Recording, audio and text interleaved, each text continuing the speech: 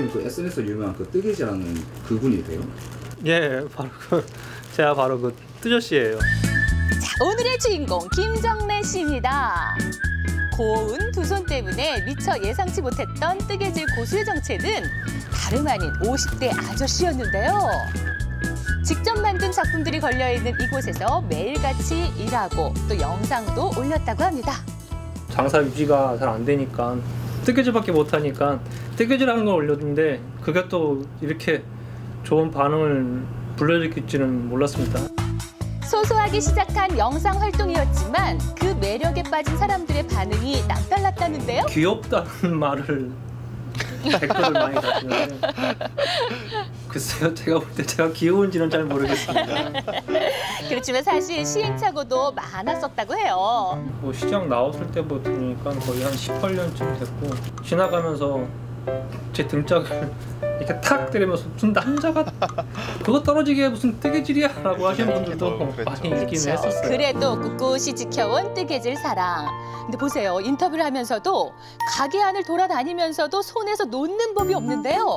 아니 근데 이 팔에 든 이 봉지 이건 뭐예요? 저 같은 경우에는 비닐봉지는 널려 있고 어차피 손님 맞이하면은 이렇게 놓고 가는 것보다 이렇게 가서 이렇게 바로 이렇게 성대할 수 있으니까 그것 때문에 이렇게 하고 다니는 게 트레이드 마크가 된 거죠. 그러니까 이 봉지만 있으면 장소 불문. 이동하면서도 뜨개를 할 수 있다는 겁니다. 안녕하세요.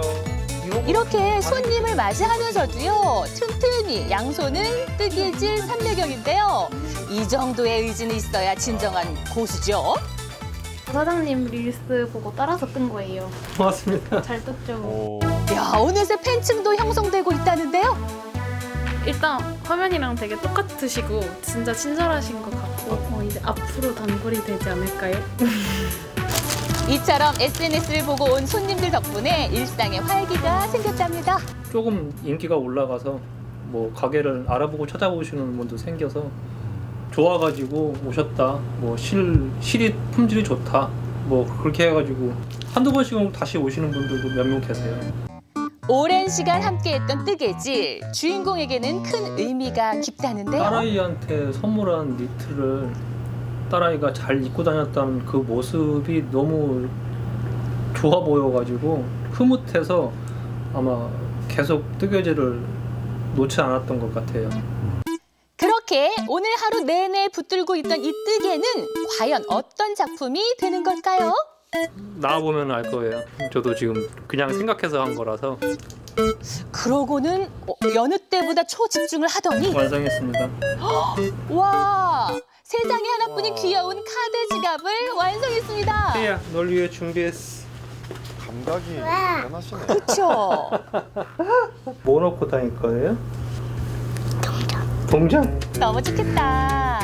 딸바보 아빠의 얼굴에 그렇게 오늘 가장 환한 미소가 번지는데요.